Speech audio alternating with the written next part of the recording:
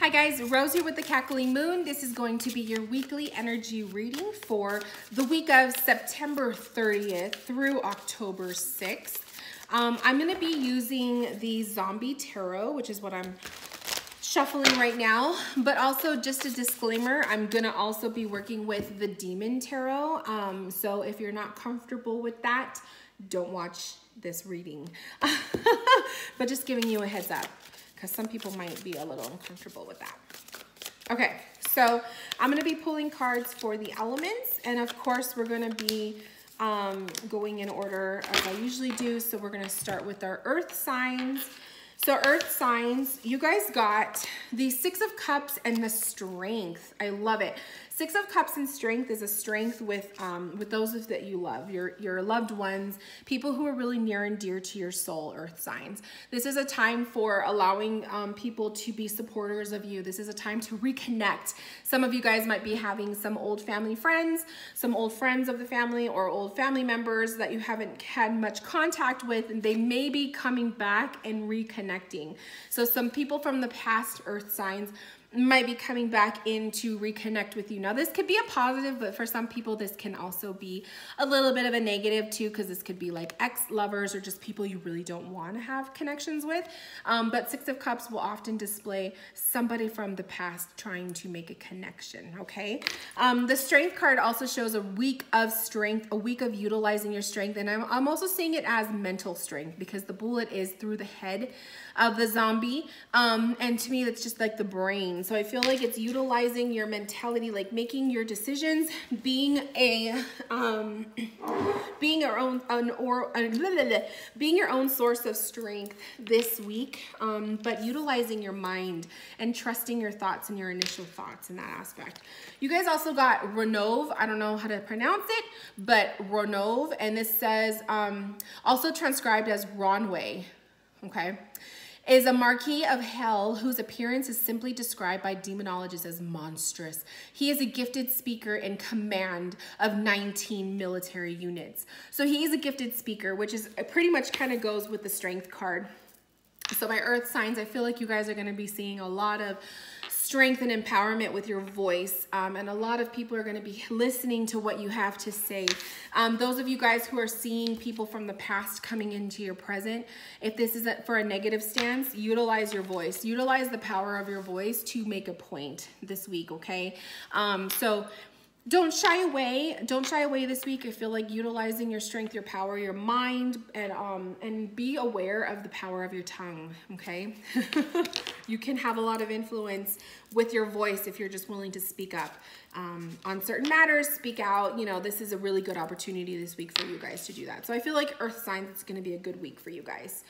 Um, okay, so next we have air signs. So air signs. You guys got Lucifer. you guys also have the King of Swords. And you guys got the Tower. So my air signs, Tower and the King of Swords. Um, this could be some, some miscommunications that might be a little bit putting on a damper. So just like, like how I say the earth signs are having a strength with their voice, you guys might actually be feeling a little bit more weakened. So I would say with that Tower card coming up with the King of Swords, um, be really careful how much of yourself um, that you put out there with your voice. I feel like you guys will, will say things and maybe you don't really mean it in a certain way or people will often misinterpret it in, in a way. Um, and so you guys, it, it, it ends up to cause a little bit of a disruption. That King of Swords can sometimes be very temperamental. The King of Swords can be somebody who um, is very intelligent and, and has a power of his voice, but also a King of Swords in a reverse it can be an element of somebody who speaks too much. They speak out of their ass. They don't think before they speak. They're very, very impulsive in that way. Um, so I would say my air signs is just be aware of that and try not to be super impulsive with your actions, with your mind and with your voice this week. Lucifer comes through is a fallen angel whose name is also that of the morning star, the planet Venus, which is also known as the bringer of dawn. He's the king of hell who appears as a beautiful child. Um, the king of hell, basically. So I feel like with Lucifer literally coming up for you guys, it's just kind of showing that a lot of you guys are up on your your pedestals this week. Um, and some of you guys with that tower card, you may be getting knocked off of it. So this could be someone else trying to push you off of your own, you know, your own high horse. Or it might just be it, it might be time for you guys to kind of step down a little bit. Take it down a notch. Don't be super, super aggressive. Um, because like I said, a King of Swords can be someone with a lot of authority, but a lot of times if you're using your voice, your power in a negative sense, um, something or something, someone or something might take over or something can happen where you'll be knocked off of your, um, your high horse and you know, you know what I mean? So just be a little bit more humble this week. Um, okay, so we have um, the fire signs next. So fire signs, you got Zaebos, Zaebos. You got the Ace of Wands. Look at that creepy Ace of Wands. then you guys also got the King of Cups. So another King energy. You guys, there's a strong, a strong energy this week. Um, so my fire signs, Queen of, I mean, King of Cups and Ace of Wands and this is aces are always new beginnings and kings hold their own. Um, but this is an emotional connection, okay? So my fire signs, you, you guys may be making emotional or energetic connections with other people. Some of you guys might be seeing a new influx of clients coming your way. Those of you guys who perform energy healings or readings or any kind of like um, holistic type of service, you guys might be seeing a lot of emotional connections with the clients this week more so than like motivational connections. It might be more emotional. So you guys might be seeing people break down. You might be seeing people really become more vulnerable to you with their with their problems and and coming to you in your services. And you might see yourself really fulfilling a lot of their voids.